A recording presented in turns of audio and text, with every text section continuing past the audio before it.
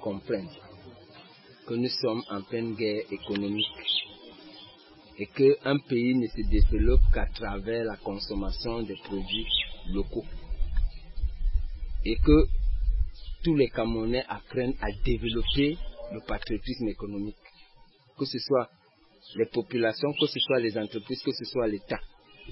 Et que les gens se disent toujours que chaque fois qu'ils vont consommer un produit qui vient de l'étranger, ils créent et maintiennent de l'emploi chez eux. Ils n'ont plus le droit de pouvoir se plaindre après pour dire que non, leur pays est sous-développé, n'est-ce pas, et que l'autre pays est développé.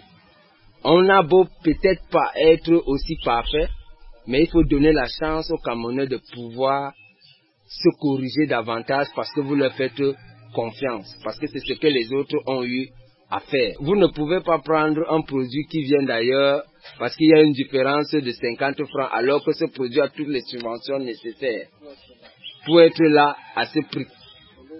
Alors que lorsque vous, arrivez avec les, nos frères expatriés, lorsqu'ils sont ici, même si leur produit coûte 10 fois plus cher ici, ils vont l'acheter parce qu'il faut que l'argent tourne dans la communauté.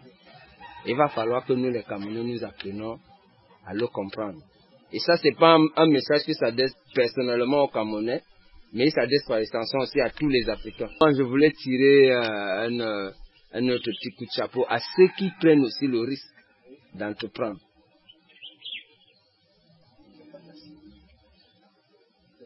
Pour développer ce pays, il faut davantage d'entrepreneurs. Plus nous serons nombreux, plus nous allons inverser la tendance.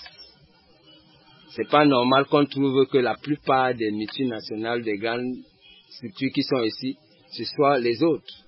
Et qu'il n'y ait pas des structures euh, complémentaires qui sont pas des, bien implantées par les Camerounais eux-mêmes. Donc il va falloir aussi à ce moment qu'on s'y lance davantage, que les gens se disent qu'il n'y a pas la seule règle, il n'y a que le risque qui est la condition du succès.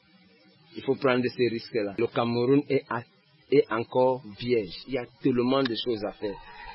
C'est pas aux autres de venir nous dire ce qu'on doit faire. C'est à nous-mêmes de le prendre. Sinon, le moment venu, on sera toujours là comme les autres ont eu à laisser faire avant.